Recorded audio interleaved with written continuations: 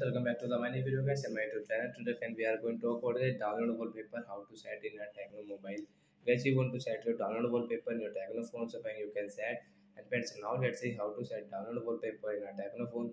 Today i will show you in this video guys. So before starting video friend first of all go and subscribe the channel guys. Click the bell icon like my video.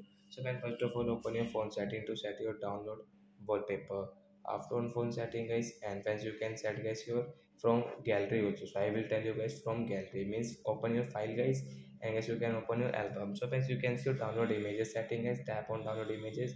So if you have your download images so guys click on your download images. And how can you set your download wallpaper guys? Right side three dot guys tap here.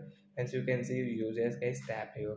And you can see your photo and wallpaper. So guys tap here guys you can adjust from here.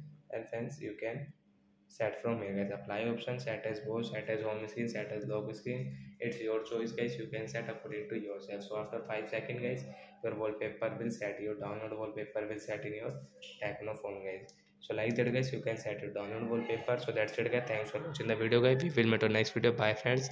Thanks for watching. And guys sorry for the sound. Ignore this sound guys